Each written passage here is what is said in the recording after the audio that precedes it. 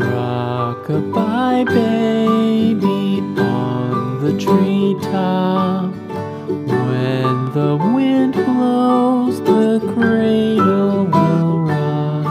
hi everyone welcome back to my channel आज मैं create करने वाली हूँ एक सिंपल सा विंटर के लिए मेकअप लुक जैसे कि विंटर है, इसीलिए मैं अपने लिप्स को पहले मॉइस्चराइज कर रही हूँ और उसके बाद मैं टोनर अप्लाई कर रही हूँ और ये डे टाइम लुक क्रिएट कर रही हूँ दैट्स वाई मैंने सनस्क्रीन इस्तेमाल किया है। आप चाहे तो किसी भी मॉइस्चराइज़र को इस्तेमाल कर सकते हैं, लेकिन उसमें थोड़ा सा एस पी एफ़ ट्वेंटी या फिफ्टीन का प्रोटेक्शन हो तो अच्छा होगा।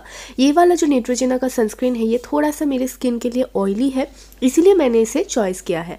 और उसके बाद मैंने लैक्मी का ये इनविजिबल फिनिश फाउंडेशन इस्तेमाल किया है। ये फाउंडेशन एक शेयर टू मीडियम कवरेज देता है मुझे, जो विंटर्स के लिए परफेक्ट है। एक डैम स्पंज से मैंने इसे ब्लेंड किया है। आप चाहे तो कोई भी दूसरा फाउंडेशन या फिर बीबी क्रीम सीसी क्रीम भी इस्तेमाल कर सकते हैं। थोड़ा सा मैं कंसीलर इस्तेमाल करूँगी क्योंकि मैं काजल और आईलाइनर अप्लाई करूँगी। तो तो क्या होता है कंसीलर थोड़ा सा अंडर आइज़ पर या फिर पिगमेंटेड एरियाज़ पर अप्लाई करने से ये एरियाज़ थोड़ा सा ब्राइटन होते हैं। तो मैंने यहाँ पर मेबल मेबलिन फिटमी कंसीलर इस्तेमाल किया है। मेरा शेड है ज़ीरो टू सैंड आप चाहे तो कंसीलर को स्किप भी कर सकते हैं क्योंकि वो थोड़ा सा ड्राई बना देता है। सो विंटर्स में अगर आपको इस तरीके की ड्राईनेस पसंद नहीं है तो आप कंसीलर को स्किप ज़रूर कर सकते हैं। नेक्स्ट मैंने थोड़ा सा अंडर आइज़ पर जहाँ पर कंसीलर अप्लाई किया है, वहाँ पर मैंने थोड़ा सा कॉम्पैक्ट पाउडर इस्तेमाल किया है। आप चाहे तो ये स्टेप भी स्किप कर सकते हैं। नेक्स्ट मैं अपने आईब्रोज को हमेशा ग्रूम करती हूँ। मैं बस आईब्रो पेंसिल इस्तेमाल करना पसंद करती हूँ। इफ़ यू विश आप कोई भी ब्राउ पोमीड भी इस्तेमाल कर सकते हैं। लेकिन मेक श्योर sure करें कि वो प्रोडक्ट एकदम नेचुरल लुक दे आपको। थोड़ा सा अपनी क्रीज को डिफाइन करने के लिए मैंने ब्राउन कलर का आई पैड किया है अपने आईलिड के ऊपर। उसके बाद एक क्लीन ब्लेंडिंग ब्रश की मदद से मैंने इस आई को अच्छे से ब्लेंड कर दिया है। सेम कलर को ही मैंने अपने लोअर लैश लाइन पर अप्लाई किया है। ये एक बहुत ही सिंपल सा लुक है, इसीलिए मैंने दूसरा कलर इस्तेमाल नहीं किया है, बस ब्राउन कलर से ही अपनी क्रीज को डिफाइन किया है, अपने आईलिड को एक डेफिनेशन दी है। नेक्स्ट मैं आईलाइनर इस्तेमाल करना पसंद करती हूँ तो मैंने आईलाइनर लिया है Lakme insta liner in the shade black ये मेरे फेवरेट लाइनर है और एक हल्का सा विंक मैं ड्रॉ करूँगी और उसके साथ अपना लैश लाइन के क्लोज क्लोज ही आई को ड्रॉ करूँगी।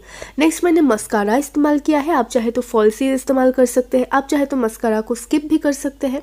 एन का जो कोल स्टिक है, उससे मैंने अपनी वाटर लाइन लोअर और अपने अपर वाटर लाइन को बस टाइट लाइन किया है।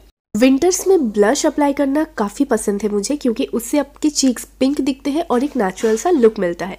तो मैं ढेर सारा ब्लश अप्लाई करूँगी अपने एप्पल्स ऑफ़ द चीक्स पर और उसे मैं थोड़ा सा अपने नोज़ पर भी ब्लेंड कर दूँगी, इससे एक नेचुरल लुक आपको मिलता है।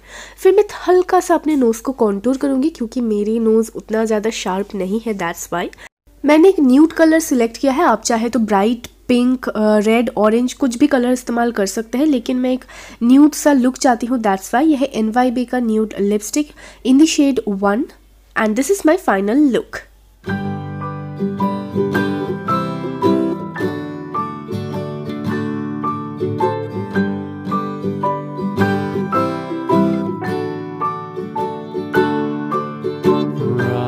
Rock-a-bye, baby.